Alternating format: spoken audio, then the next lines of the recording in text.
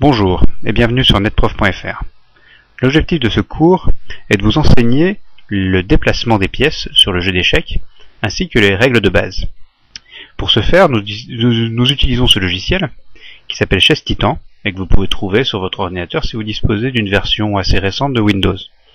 Euh, il possède une option intéressante puisqu'il permet de lorsqu'on sélectionne une pièce, il peut, euh, si on choisit l'option adéquate, dans option F5, afficher les mouvements valides, et donc il indique les déplacements autorisés pour la pièce sélectionnée.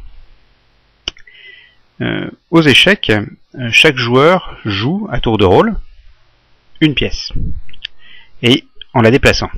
Mais on n'a pas le droit de sauter son tour, chaque joueur doit déplacer une pièce à tour de rôle.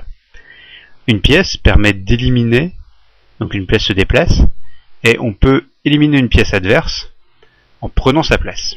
On ne la saute pas comme aux dames, euh, aux échecs, une pièce on mange une autre en se mettant à sa place. Le but du jeu est de capturer le roi adverse.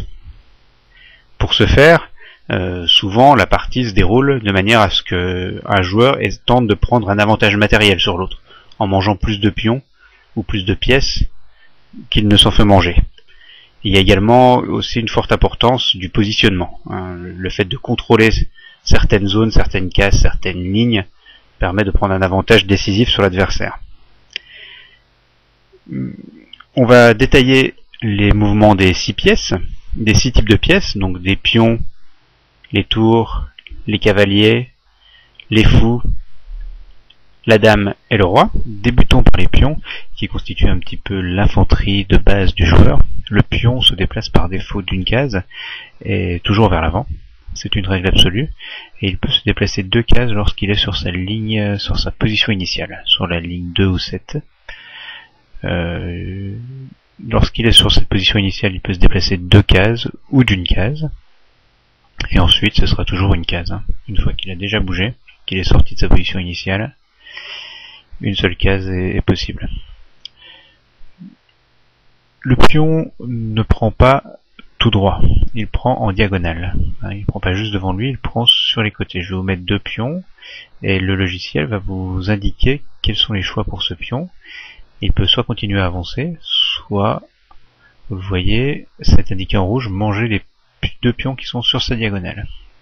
Il mange en diagonale, forcément, toujours vers l'avant. hein. Le pion ne reculera jamais et n'ira pas sur le côté. Ensuite, il existe trois pièces, trois types de pièces, la tour, le fou et la dame, qui sont ce qu'on appelle des pièces à longue portée, des pièces de ligne, c'est-à-dire qu'elles peuvent se déplacer sur tout l'échiquier. Alors par exemple, on va prendre cette dame, sur tout l'échiquier, selon certaines, certaines, règles, certaines règles de déplacement. Euh, le fou se déplace en diagonale sur tout l'échiquier, Enfin, sauf bien sûr, on peut pas sauter ses propres pièces. Quand, pour ces, ces trois types de pièces, ne saute pas les pièces. hein, il, il est bloqué par ce par ce pion. Ce fou là peut venir là.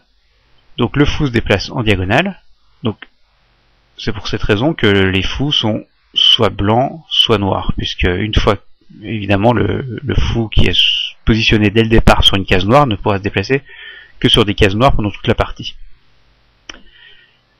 Les tours se déplacent un peu différemment, je vais vous en sortir une. Donc elles se déplacent elles en ligne droite sur toute la longueur de l'échiquier. Vous voyez, hein, en avant, sur les côtés. Et toujours pareil, on, prend en se substituant à la pièce. Et la dame combine les deux. À savoir, c'est au noir de jouer. Elle peut se déplacer donc toujours euh, ces pièces-là se déplacent indifféremment vers l'avant et vers l'arrière. Vous voyez, la tour se déplace vers l'arrière euh, sur le côté. Et la, la dame, donc, soit en diagonale, comme le fou, soit en ligne droite, comme la tour. Elle combine les deux. Euh, Je vous ai récapitulé ça dans une petite présentation PowerPoint. Le fou, je, vous ai pris des cases 5 par 5 parce que c'est assez, c'est assez parlant, puisque en 5 par 5, donc euh, un petit échiquier de 25 cases, 24 qui ne sont pas occupées par la pièce. Le fou permet d'occuper les 8 qui sont en diagonale, la tour les 8 en ligne droite, la dame combine les deux, donc les 16 cases, et je vous ai fait cette animation parce que le cavalier, qui a des règles de déplacement un peu plus compliquées, permet d'occuper les 8 cases qui ne sont pas occupées par la tour ou par le fou, et donc par la dame, par extension. Le cavalier peut se déplacer sur ces 8 cases. Il peut se déplacer que sur ces 8 cases. Lui, il n'a pas une longue portée. Hein. Le cavalier a 8 cases maximum. Donc pour s'en souvenir, on dit que le cavalier se déplace en Y. Hein. C'est-à-dire que une case en avant, une sur le côté, une sur le côté. Et une des particularités du cavalier est qu'il peut sauter les pièces. Hein. Il se déplace et il saute jusque là. Il pourrait y avoir des pièces tout autour de lui. Il aurait quand même la possibilité de se déplacer sur ces cases. Euh, il nous manque euh, la, le, la pièce la plus simple, le roi. Alors le roi, lui, peut se déplacer d'une pièce, d'une case, dans toutes les directions.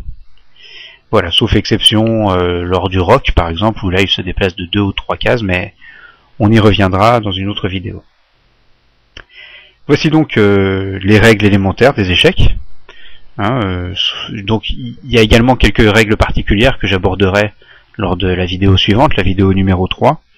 Euh, mais elles ne sont pas indispensables pour commencer. Là, vous avez tout ce qu'il vous faut savoir pour débuter aux échecs et commencer à faire des parties. à tenter de, de capturer le roi ennemi. Donc vous voyez, je vais vous montrer ce qui se passe quand vous tentez de capturer le roi ennemi. Le roi est ce qu'on appelle en échec, à savoir qu'il est susceptible d'être pris au tour suivant. Euh, le joueur doit donc faire en sorte que ça n'arrive pas. Euh, il peut le faire de différentes manières, soit en bougeant son roi. Si, si le joueur noir joue son roi ici ou ici, il ne sera plus en échec, la tour ne pourra pas le prendre. Soit en capturant la tour, là c'est pas possible, mais si il avait une manière de capturer la tour et qu'il la prenait, évidemment la tour ne pourrait plus embêter le roi. Et dernier, moyen, il peut également se mettre une autre pièce entre le roi et la tour, cacher le roi en quelque sorte, de manière à ce que la tour ne puisse pas capturer le roi sur, euh, ce tour-ci. Voilà, si s'il est impossible d'échapper à l'échec, eh bien c'est c'est le but du jeu, c'est ce qu'on appelle l'échec et mat. À savoir que le roi ne peut plus échapper à la prise euh, au tour qui suit, hein, qu'il ne peut plus rien faire pour ne pas être pris. Donc on va essayer euh, dans cette partie de mettre rapidement ce roi en échec et mat pour que je vous montre euh, un cas précis. Bon là c'est bon. Ah non, ce fou va nous gêner. On enlève la dame, on sait jamais. Et voilà. Donc voici donc le roi noir échec et mat. Comme vous voyez, il ne peut plus bouger. Euh, s'il vient sur cette case, la dame le mange, également sur celle-ci, et s'il lui vient l'idée de manger la dame, la tour ou le fou pourront le capturer. Donc dans cette partie, les noirs ont perdu. Voilà, vous avez tous les éléments pour commencer à jouer et à vous amuser aux échecs. Je vous souhaite de bonnes parties et à bientôt sur netprof.fr.